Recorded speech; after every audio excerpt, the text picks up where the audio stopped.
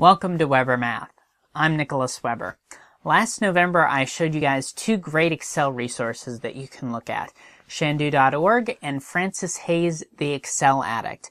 Going back through some of the Excel Addict's old newsletters, I found some a great tip that I wanted to share with you today.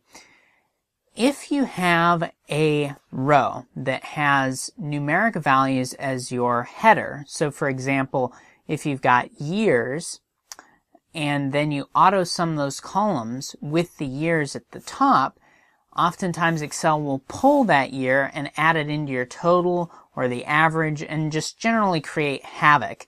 Not good. So, there's a great way of overcoming that by formatting it as a text, but it's much easier to see in action than just hear about it talking about it. So let's go ahead and take a look.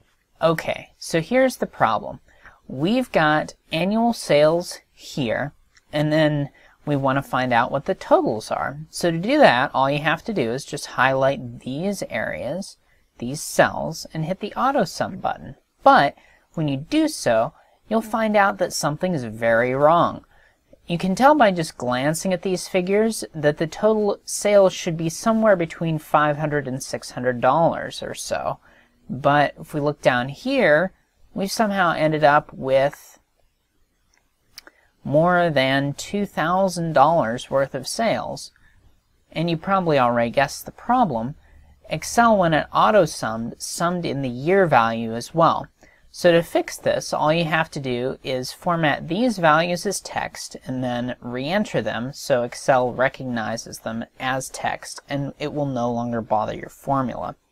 So all you have to do is highlight the whole row by clicking here then you go up to here in the Formatting tab and then select Text.